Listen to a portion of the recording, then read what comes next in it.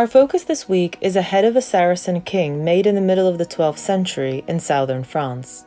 The style of carving and the decorative headdress recall the Old Testament prophet figures common to many medieval facades, but the monster like grimace of this head is unique among those serene figures.